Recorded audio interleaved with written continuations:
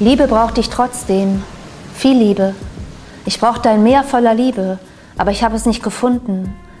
Und dann habe ich mich mit eimerweise Halbliebe begnügt, die irgendwelche One-Night-Stands und Affären über mir auskippten. Hallo, mein Name ist Sochel Aschitz. Ich habe gerade meinen zweiten Roman geschrieben und es ist eine erotische Liebesgeschichte. Es war so wenig echte Liebe, wie aus meiner Dusche echtes Meerwasser kommt, aber besser als nichts. Und ich habe mich daran gewöhnt, so sehr, dass ich irgendwann Angst vor Meer hatte.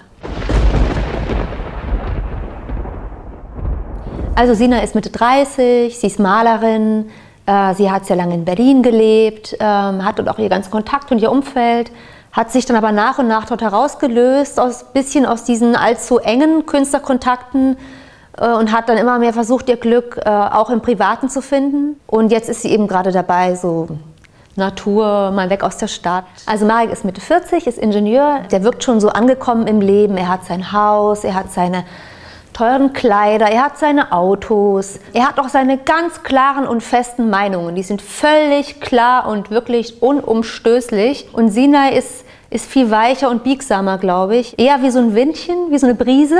Und er ist halt wie so die Betonwand. er ist starr, aber auch stark. Und das Stark ist natürlich sehr reizvoll. Wenn man immer die Eimer über dem Kopf ausgekippt bekommt, dann ist das nur eine halbe Sache. Aber dann muss man auch nicht schwimmen. Man verlernt das Schwimmen. Vielleicht hatte man es in Wirklichkeit doch nie gelernt. Also das Buch hat ähm, eigentlich drei Themenfelder. Das eine ist natürlich die Erotik, die Liebe, Partnerschaft, Träume. Ein Thema ist die Vergangenheit der Figur. Ähm, und das dritte Thema ist ein Thema, was, was ich im Moment auch sehr, ich persönlich als ziemlich aktuell empfinde, nämlich eigentlich ein globalisiertes Arbeitsleben.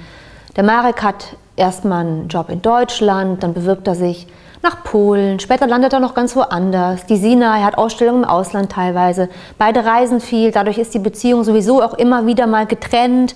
Und ich glaube, das ist was, was heute auch wirklich äh, immer mehr auch äh, Realität ist.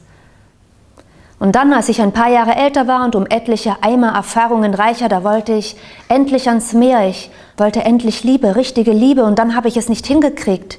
Dann war es entweder so, dass ich ins Meer gehen wollte und gemerkt habe, dass da doch bloß ein Eimer mit moderndem Wasser vor mir steht, der gerade umkippt.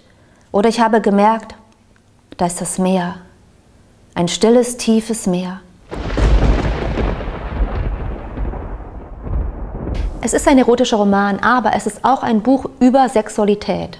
So empfinde ich es. Denn es wird nicht nur Erotik geschildert, sondern es wird auch eigentlich geschildert, wie leben wir eigentlich heute mit Erotik? Wie, kommt man eigentlich zur Erotik, auch wenn man manchmal Umwege geht und Hindernisse im Weg sind und man ein paar Schlangenlinien laufen muss? Darum ging es mir eigentlich ein bisschen.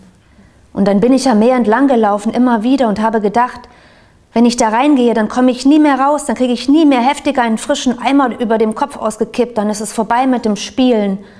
Dann muss ich immer in einem öden, stillen Meer schwimmen. Ach nee, habe ich da gedacht und mich davon gemacht. Also mein Leser ähm, stellt sich Fragen. Das ist ganz wichtig. Ein Leser, der sich keine Fragen stellt, der soll bitte einen anderen erotischen Roman lesen. Ohne Fragen braucht er mein Buch gar nicht erst anzufassen.